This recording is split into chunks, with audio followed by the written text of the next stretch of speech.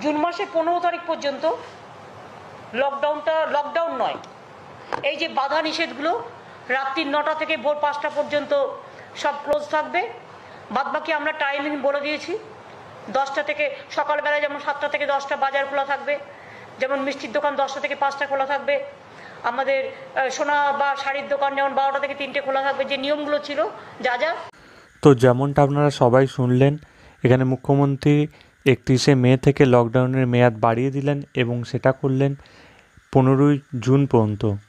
এবং এই লকডাউনে আগের যে লকডাউনের যেসব নিয়ম বলবৎ ছিল, অর্থাৎ রাত্রি দশটা থেকে ভোর পাঁচটা পর্যন্ত সম্পূর্ণভাবে সব কিছু লকডাউন থাকবে এবং সকাল সাতটা থেকে দশটা পর্যন্ত মুদিখানার দোকান খোলা থাকবে এবং সমস্ত জরুরি পরিষেবা কিন্তু খোলা থাকছিল।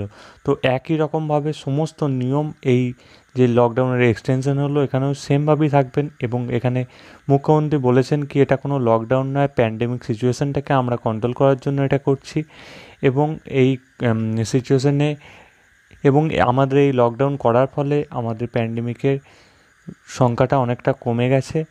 এবং তাই আমরা আরও কিছুদিন এটাকে এক্সটেন্ড করলাম।